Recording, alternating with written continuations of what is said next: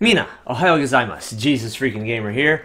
Yeah, did another one of my long late nights into early morning things again. So this is Friday's stuff. I know I'm very well aware it's Saturday. Please be aware I did not sleep. I have not gone to bed yet. For me, this is the end of my Friday, which will shortly lead into my Saturday after a good uh, day's sleep. So, today I'm coming at you with Ezra chapter 9. Some of the things I say today may not be the most popular, but I do believe them to be true.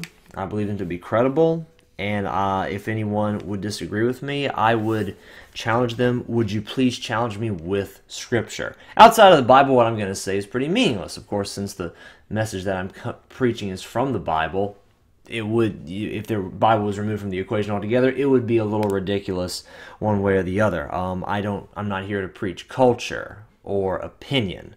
Although I will admit I am preaching my interpretation of the Word of God, I am here to preach the Word of God. Let's go on with this message. It's um, Ezra chapter 9. We're going to start with verse 1. When these things were done, that is, getting all the stuff in chapter 8 done, I won't rehash that at this time.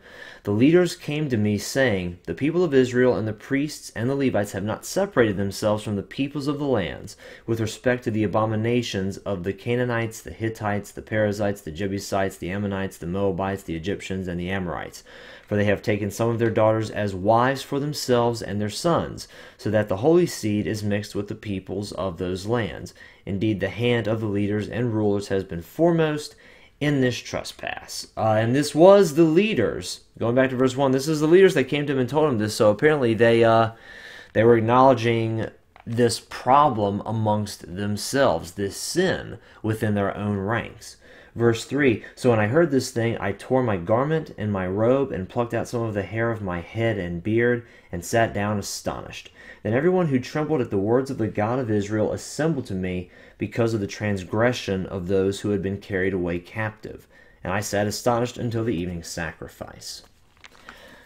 So he is set he sits in astonishment at the fact that some Israelis have married some of the ites of the land. There are several ites that I just mentioned, uh, and that, that's kind of a church term for all of the peoples of the land of Canaan, and indeed other Gentiles and heathens of that time. And he sat in astonishment that the holy seed was mixed with the Gentile and heathen seed, and it was a shocking thing.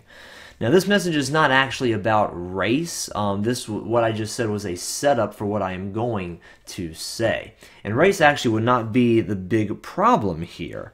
The bigger problem would be, as I mentioned earlier on, the abominations of those lands. The fact that they were a certain race was not the problem. The fact that they were worshiping other gods, the fact that they were living a cultural life other than the cultural life prescribed by the Word of God. Those would be the problems. Were they worshippers and followers and obeyers of Yahweh or not? Race was not the issue. The holy seed would be those who follow God and love God, mixing with those who do not love God and who do not follow God. Uh, it is mentioned, just for context, earlier on in the law of Moses that it's someone, uh, a foreigner, a Gentile, such as myself, I am not of Jewish descent, they could come into the Israeli community and abide by their laws and worship their God. And marriage, I don't know the exact verse where it is, but marriage and acceptance of such a person was completely within the bounds of the law. And Ezra sits there in astonishment, like, how, how could the people do this thing? Why would they marry someone who doesn't follow our God? Why would they do this? And in today's church, it seems natural, I think, to accept various, in, in my opinion, many sinful activities. Marriage to a non-Christian, well, of course. I mean, we're surrounded by we're surrounded by tons of beautiful people. Uh, I from man to a to a woman, it would be like uh, surrounded by beautiful women. You marry a non-Christian, well, doggone it, you know, I guess it was probably bound to happen. They outnumber the Christians.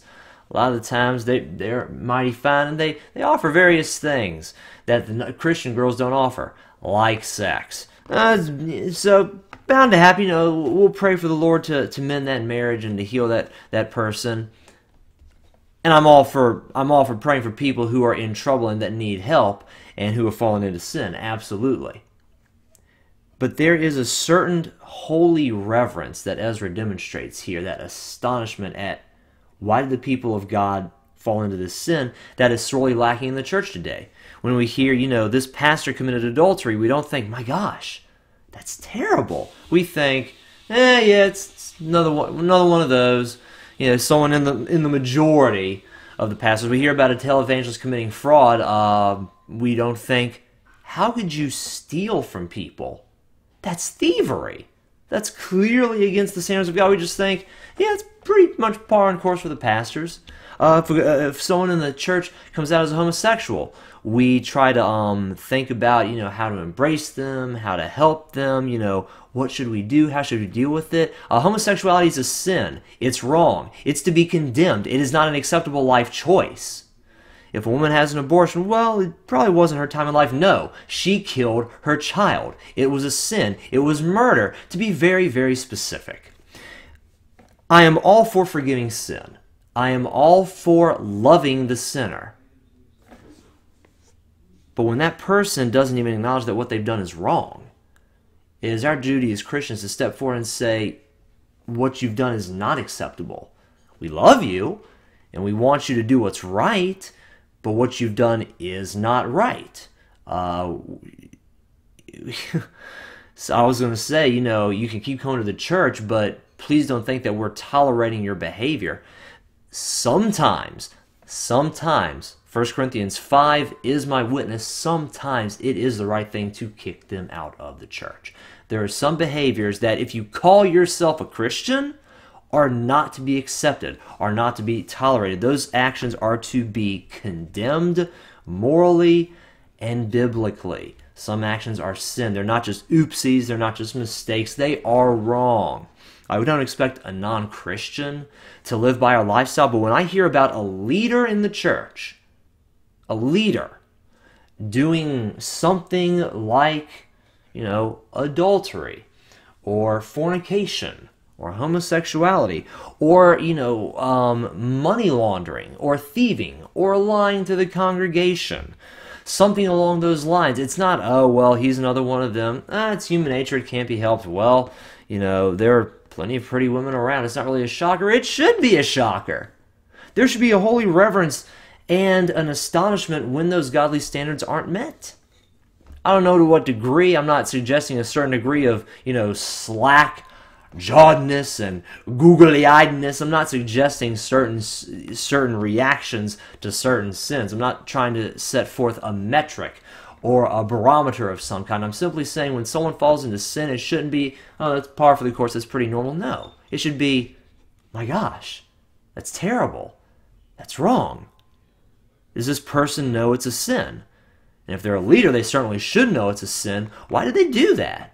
That that's that's disgusting. That's horrible. You know, we need to pray for them that they repent quickly and come back to the Lord swiftly. It's not something to tolerate. It's not something to accept. It's something to point out as sin, rebuke, and condemn. And if they're not willing to repent of their sin, maybe even consider cutting off fellowship. Today was a bit of a heavy message, and that is that's what I got from the text. That's what I saw. I'm sure I stepped on some people's feet, and I won't apologize for any hurt feelings because this is the Word of God. This is the Bible. This is God's law. And I'm not going to apologize for what I believe, and I'm not going to apologize for standing up against what is wrong and standing up for what is right. The culture and the law does not determine right and wrong. God alone determines that. So guys, thank you very much for watching this video. Hopefully, hopefully this can inspire some godly reverence and even some godly astonishment.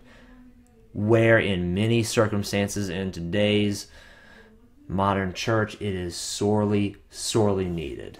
I love you, and God bless.